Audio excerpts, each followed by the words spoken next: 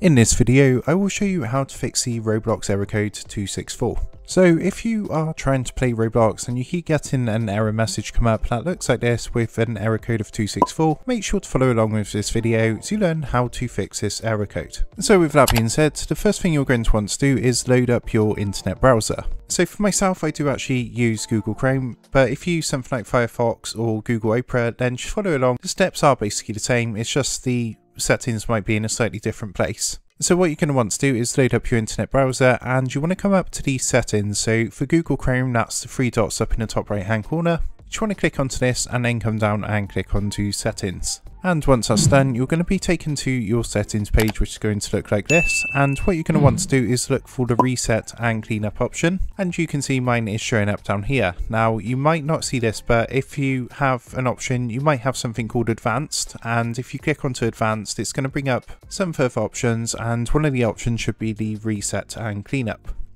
So the first thing you're going to want to do is go ahead and click onto this and then what you want to do is actually click onto restore settings to their original defaults. So what this is going to basically do is reset Chrome settings and Chrome shortcuts, disable extensions and delete any cookies and other temporary site data. Now don't worry too much because your history, bookmarks and passwords will not be affected as it does say here. So all you want to do is go ahead and click the blue reset settings button and what's going to happen, it's just going to take a minute or two to run through and reset the settings.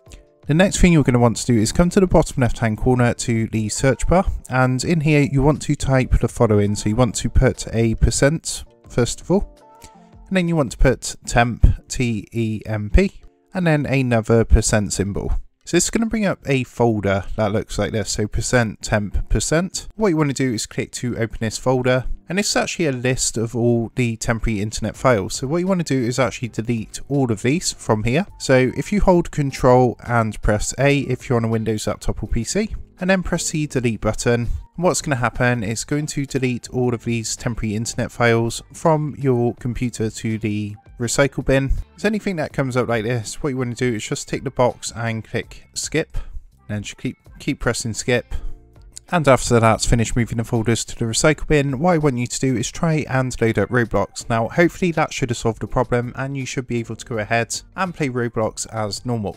If you're still getting a error message come up, the next thing I would recommend is to try using a different browser. So of course if you use something like Google Chrome, what I would recommend is to use something like Mozilla Firefox or Google Opera and try and load up Roblox that way. Again, if it doesn't work, you can follow the steps for the first methods and give that a try. But if you're still having problems, then the next thing you're going to want to do is the following which is to come down to the bottom left hand corner to the search box again and in here you want to type network and what you want to do is click onto this network status, which is going to come up uh, in the menu at the top of the page. So once you click onto that, that's going to bring up a screen that's going to look similar to this. And from here, you want to click onto Network and Sharing Center. So if you actually scroll down, you'll see Network and Sharing Center here. So what you want to do is just go ahead and click that. And this is going to load up another window, which is actually going to look like this. And then from here, you'll see your internet connection here. So what you now want to do from here is click onto your actual internet connection that you're connected to.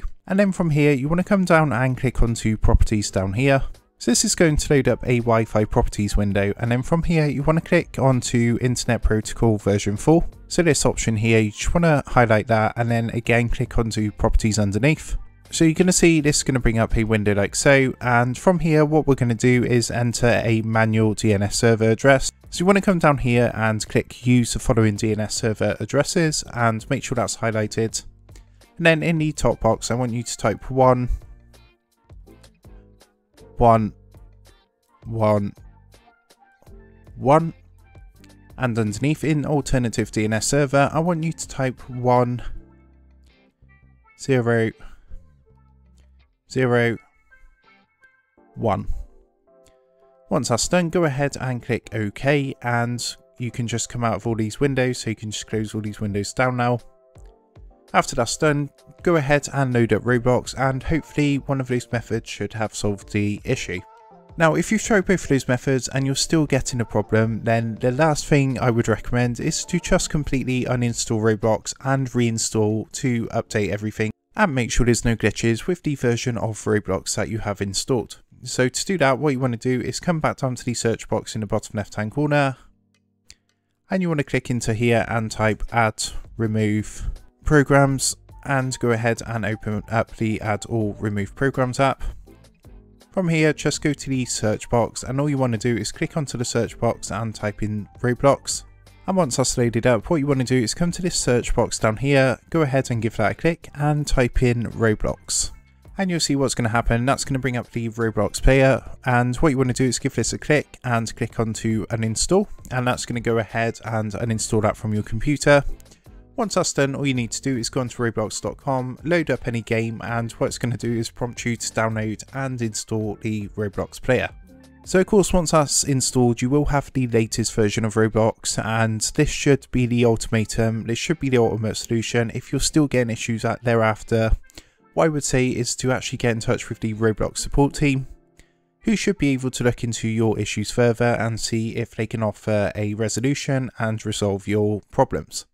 So I hope you found this video helpful today. If it did help then please drop a like on the video, I really do appreciate it. And make sure you do hit that subscribe button, stay up to date with the latest tech tutorials for everything tech and digital related.